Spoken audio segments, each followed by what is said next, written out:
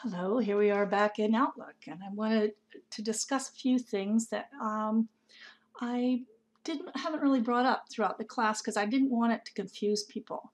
But um, if you look, I, I mean, I've mentioned before I have several Office 365 accounts, and there's a reason why I choose to to pay for these because they're they have a lot of extra pluses uh, these two are both Office 365, and they are actually paid email accounts. And that's because I can run them through Outlook, and I can also access them from multiple locations. And that's really what I want to show you how it works. So the thing is, is let me just first go into the lab email accounts. So that, and, and you'll see also, okay, now, the only one that isn't an Office 365 account is the Gmail account. And many of you already have Gmail. It's free and you can run it through Outlook like I do. Uh, you have to uh, do some tricky configuration. Let me come here and show you what I mean um, as far as tricky configuration. On my Gmail account settings, uh, let's look at these account settings. Okay, this these are this is what we call an IMAP account, and that means it maps itself with the server um, in the in the particular location. And with Gmail, Gmail, what you have to do is you have to log into your Gmail account um, through your web browser, and then you activate the IMAP feature. Okay, so um, I guess I could demonstrate that as well. So so I'm going to pause this for a second so I can get my uh, account open on the screen and show you what I mean. Okay, so this is my Gmail account. If I want to get into my mail, I just click here and I'm in my Gmail account, which many of you, uh, let's see, I'm going to go, no, I'm not interested with this, but that many of you are very familiar with and um, you've seen it. Uh, you can choose different backgrounds, all of this type of thing. Now, they also have different ways to work with these accounts. Now, what the difference here is in settings, I went to um, forwarding and pop IMAP. And this is where I enabled the IMAP feature right here. Okay, I've had it as pop before, but I like it better as IMAP. So I mean, Gmail is better, it works a little bit better with IMAP anyway. So POP means that it pulls all the information off of the um, email server. And IMAP, what it does is it maps itself to the email server. So if I was to look at my accounts, now I can close this out here. Um, let me get back um, to my, just to my inbox should take me there. Yeah. Okay. Now you see all these folders that I have inside my account. I have an, an inbox um, that shows me the folders here. Then I have different, like my personal, uh, my school. And at one time I, I kept these all up, but I don't need to anymore. And I'll show you why. Okay. So now I'm back here at my IMAP account of Gmail. And you'll look, Okay, so here's my Gmail folders. These are the same folders that you were looking at. See, so the ones that I had coming into this account originally are the same ones that, that are on my other account. And they're mapped. So when I come up here to my Gmail mail, and I use my Gmail as a junk account. I have all the different, uh, whoever is uh, sending me uh, some kind of an ad, I, it goes to this account. So let's say I want to delete this one. When I delete it here in my Outlook, it's mapped to the other account. So it will no longer be open in Gmail. It will no longer be here in Gmail either. So it, it's just that it, it, it will automatically go through and it will uh, um, update itself as it happens. So it's real life and it's nice. Okay, now I'm going to close out the Gmail account and let's talk Office 365. Now, one thing that a lot of you are aware of is that when you go into your Cuesta um, and it's if I if, if I want to get into Office 365 account, I go to portal.office.com. Okay, and it takes me to something like this. And you see, I have multiple accounts that I'm working with. So let me just go with my lab email account, and I'm going to show you what happens. If I put in my lab email um, email address, lab email 01 at, and I am, I always forget the extension, so I'm going to have to look at it again. Let me get it over on my, oh, that doesn't do you any good. Um, let's see. Let me get my Outlook over on my other screen so I can look at the ex extension. Darn it, I'm sorry. Um, let's come back and put you on pause for a second here. Where are you? Okay, so there we are. Lab email 01, then it's Outlook dot instruction dot cuesta dot org. Okay, now what happens because it it has to do with the uh, uh, cuesta.org. When I click on next, it's going to pop over to a view of Cuesta College in the background. So here goes. There it is. See, there's the Quest Cuesta College one.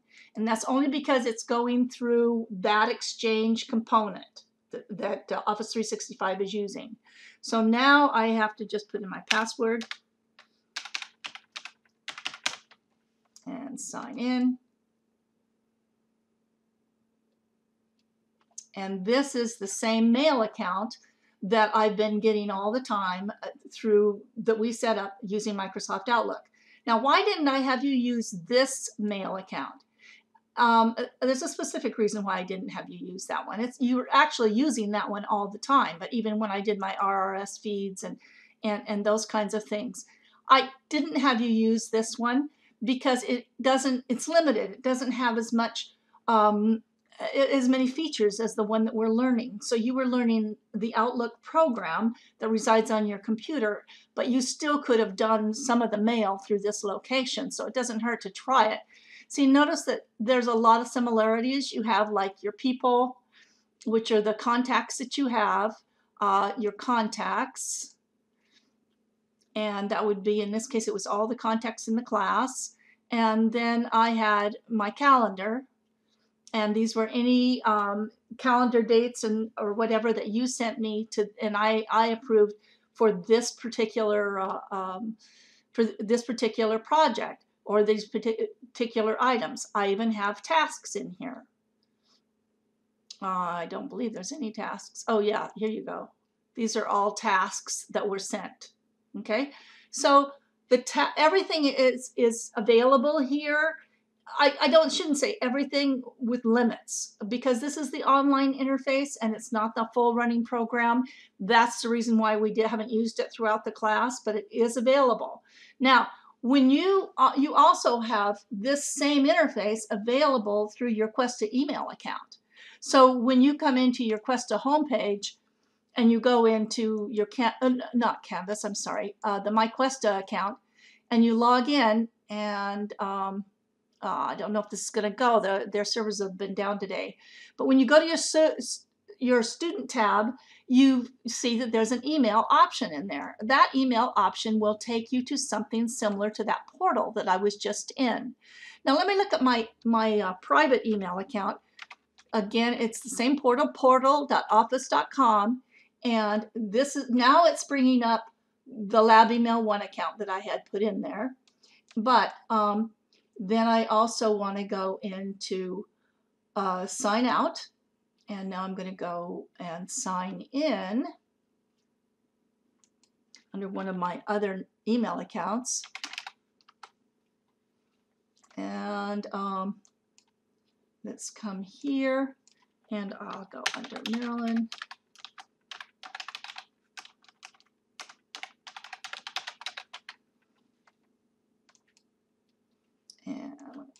Password.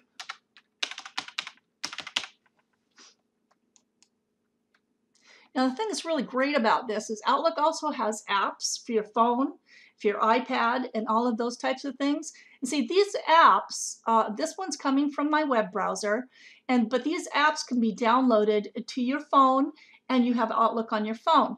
You just have to put in, you know, the the uh, different types of groups or whatever that you have in that area.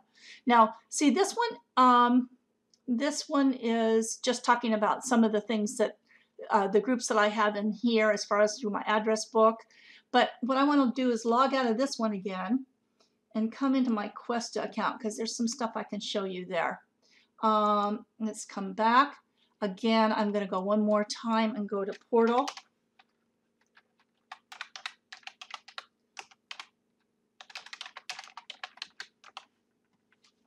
Okay, this time what I'm going to do is I'm going to go into my Cuesta email.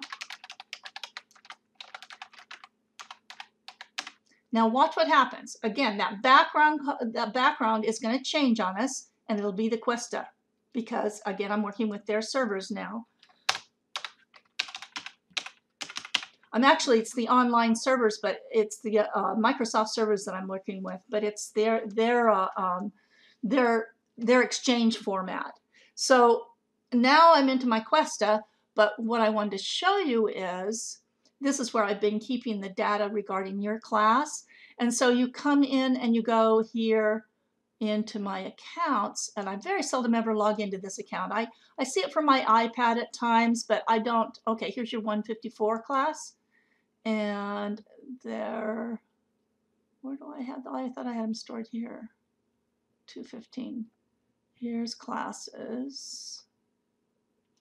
It should be, okay.